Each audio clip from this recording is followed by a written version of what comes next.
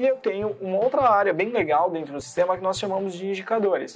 Para que, que servem os indicadores? São dados que às vezes você precisaria de um trabalho muito maior para compilar. E aí a gente criou alguns indicadores prontos para te ajudar com essa informação. Por exemplo, nós temos um indicador que é o de análise comparativa.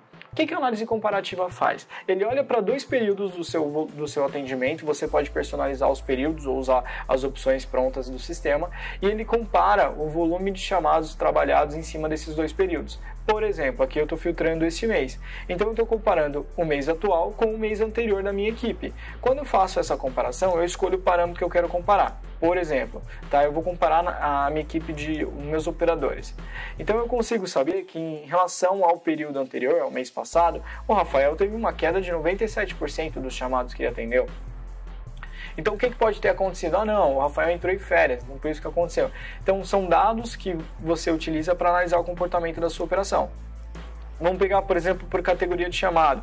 E aí você sabe, por exemplo, que suporte hardware eu tive uma queda. Então, às vezes, uma manobra, um investimento que eu fiz no mês passado diminuiu drasticamente o volume de chamados que eu recebo de hardware.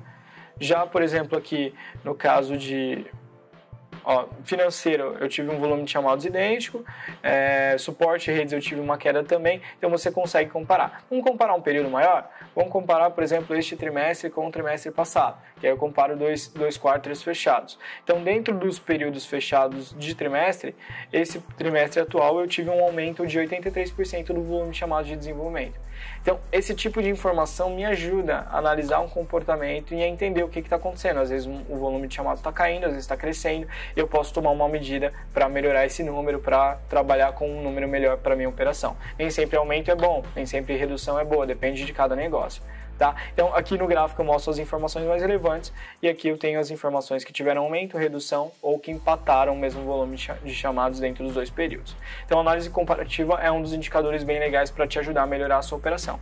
O outro, é, vamos falar só do te tempo médio de atendimento. Tempo médio de atendimento, para quem não sabe, é uma informação extremamente crucial para qualquer gestor, porque aí você consegue saber quanto tempo em média a sua equipe está demorando para tratar o volume de chamados. Cada chamado demora em quanto tempo, quanto tempo em média para ser finalizado.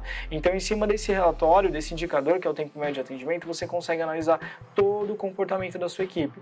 E aí nós medimos vários tempos médios de categorização, de abertura até o primeiro atendimento do SLA, de primeiro atendimento até a solução do SLA, enfim. Mas acho que a mais importante é da abertura até, o, até a finalização, que é a linha preta.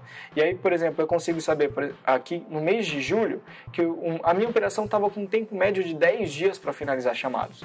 E aí, depois do mês de julho, eu comecei a tomar algumas ações e a minha equipe em agosto caiu para 4 dias e agora a minha equipe está trabalhando com 11 horas na média para finalizar o tempo médio aí de atendimento dos chamados, ou seja, o usuário ele passou a esperar menos para o chamado dele ser resolvido. Com isso, automaticamente eu aumento a satisfação do meu usuário, porque ele está sendo atendido mais rápido, eu aumento a vazão da minha operação e aí eu consigo melhorar como um todo, todo o dia a dia da minha equipe. Eu posso analisar o tempo médio geral e eu também posso fazer filtros para analisar o tempo médio de alguma pessoa específica da minha equipe.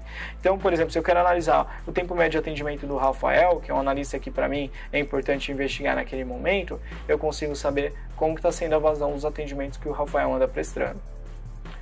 Ó, então, no mês de setembro, por exemplo, o Rafael finalizou com duas horas na média de finalização, aí, tempo médio de finalização de chamados. Então, isso me ajuda a analisar performance, me ajuda a analisar uma série de dados aí para o dia a dia da sua equipe.